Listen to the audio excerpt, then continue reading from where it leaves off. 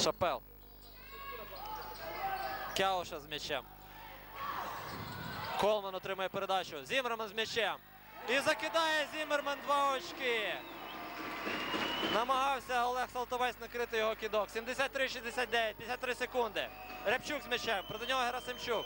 Рябчук віддає передачу на Липового. Липовий проти Шапела. Рябчук триочковий віддає передачу на Липового. Липовий. Салтовець. Салтовець. 8 секунд на атаку. Липовий. Кидок середньої дистанції Олександра Липового влучно. 36 секунд залишається до закінчення четвертої чверті. Дуже швидко перепасовувалися кияни. І знову в атаці Говерла. Плюс два у Говерли. Зімерман з м'ячем. Колмен. Герасимчук. Кяушас.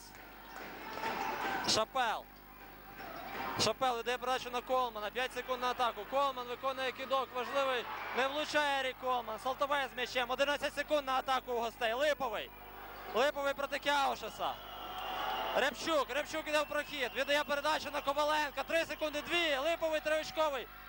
Влучає триочковий Олександр Липовий і приносить перемогу гостям.